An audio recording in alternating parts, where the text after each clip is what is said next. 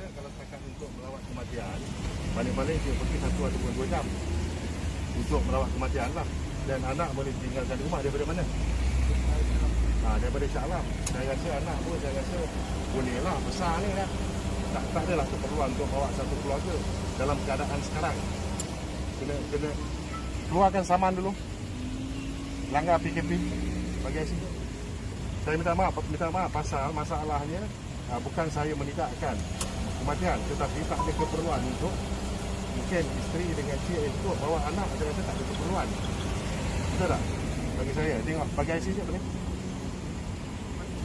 Tak, nak bagi saya IC dulu. Dan pasal anak pun dah besar, tak ada masalah. Tak ada keperluannya. Saya tahulah itu satu satu satu satu ha? satu uh, satu perkara yang ni. Tolong keluarkan sem- ha? Ah, yalah fahamlah dalam keadaan sekarang. Kalau nak sampaikan doa, sampaikan apa dia akan sampai juga melalui melalui doa, kan? Ini lebih kepada uh, adat saja. Right. Sila cik, dah. Kita keluarkan sama. Ya. Ambil dulu nombor IC dia. Okey. Suruh dia ni. Ambil dulu nombor IC dia. Ambil IC dia. Dan lepas tu tapi saya minta maaf cik, saman saya tetap keluarkan. Saya benarkan cik pergi uh, uh, melawat dulu kematian. Tapi saman kerana tak perlu dia mau anak. Mungkin anak di sini dia boleh lah. Yang dua orang ni tak ada perlunya. Orang sekarang ni nak kawal pergerakan, jaga penyakit. Tak kira lah dia semua apa-apa. So ambil dulu IC dia. Alright.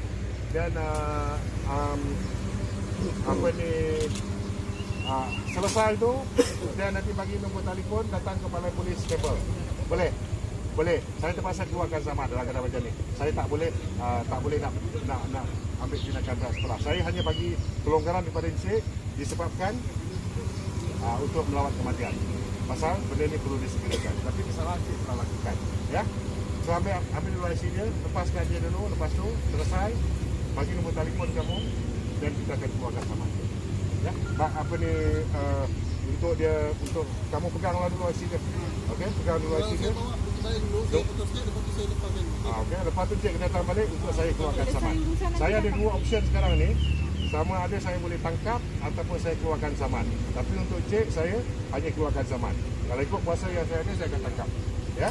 So harap faham dengan tugas kita, kita menjalankan tugas demi kebaikan. Ya. So ambil IC dia dan lepas tu lepaskan dia pergi melawat kematian dan lepas tu dia kena balik untuk dikeluarkan saman. Okey, Cik? Ya.